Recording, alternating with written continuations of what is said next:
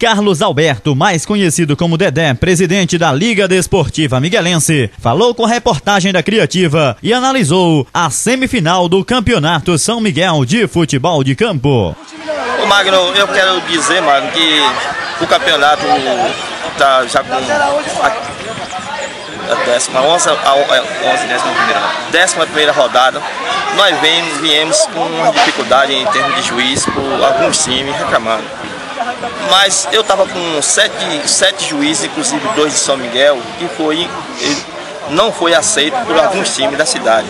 Então, vim trazendo sempre juiz de Amargosa e a gente veio todo domingo escalava um, um juiz. E hoje a gente trouxe essa equipe de juízes, inclusive de São Antônio, que vem apitando lá no estádio lá de São Antônio. A gente fez o possível para poder agradar a torcida, agradar os times, mas sempre tem aquele problema. A arbitragem é um problema, né? O pessoal sempre discute, sempre reclamando, mas não tem muito o que fazer também, né, David? É, nós assistimos hoje o jogo pela televisão e a gente vê os problemas também que acontecem. Então a gente, o máximo que a gente está fazendo para poder os times sair felizes, mas sempre acho que nós estamos prejudicando. Mas eu quero dizer que a torcida está de parabéns que está aparecendo. E domingo é a final de. para que termine tudo em uma boa, em paz. E seja o melhor que seja o campeão. E... Sub-20 real, né? Sub-20 real, que é o, é o. vai disputar a final. E o. E tem a terceiro, o terceiro lugar também. Eu acredito que. Premiação premiação vai ter 200 reais, que eu disse que era para o terceiro, 300 para o, o, segundo lugar e 500 reais para o...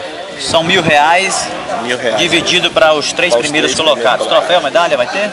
Troféu, medalha para o goleiro menos vazado, para o artilheiro e, e, medalha também para o campeão e o vice. Campeão e vice. Estou à disposição até para de colocação. Eu quero, eu quero agradecer também a, a prefeitura porque está dando um apoio um máximo a gente, em termos que a gente teve uma dificuldade no início mas a gente sabe que é todo lugar também está com esse problema, mas vamos lutar para o próximo campeonato para fazer as coisas melhor.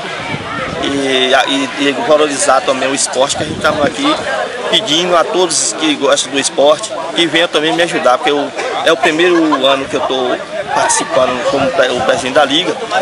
E estou caminhando para ver se resiste o estádio para poder que, que a gente disputa até um termo municipal qualquer hora dessa. E vamos não é que eu já venho também com dois, três campeonatos nas costas. Inclusive já, a gente já apresentou no futsal, no Mutuibão e agora nós estamos perdidos, nós vamos terminar esse e vamos pensar no próximo. Próximo ano que vem? Bem capaz, a gente vai esperar um pouco a grama reagir um pouco e nós vamos, ou veterano, ou quem sabe, até o Cidade Visível.